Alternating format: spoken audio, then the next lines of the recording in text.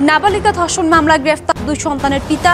জানা যায়, নাবালিকা ধর্ষণ মামলায় কল্যাণপুর থানার পুলিশের হাতে গ্রেফতার পরিমল দেববর্মা বয়স চল্লিশ বছরের ব্যক্তি। পুলিশ সূত্রে জানা গেছে, গত ছাব্বিশ তারিখে কল্যাণপুর থানা এলাকায় নাবালিকা সহ তার পরিবারের লোকজন পরিমল দেববর্মার নামে একটি মামলা করে।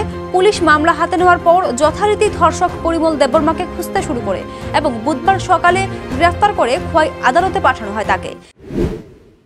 গত ছাব্বিশ চার দুই হাজার বাইশ ইংরেজিতে আমাদের কল্যাণপুর থানাতে একজন নাবালিকা মেয়েকে ধর্ষণের ব্যাপারে একটি মামলা হয়েছিল।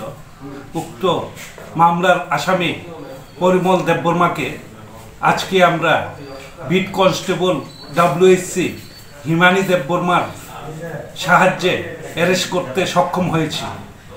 আসামি পরিমল দেববর্মাকে আজকে আমরা কোর্টে প্রেরণ করব।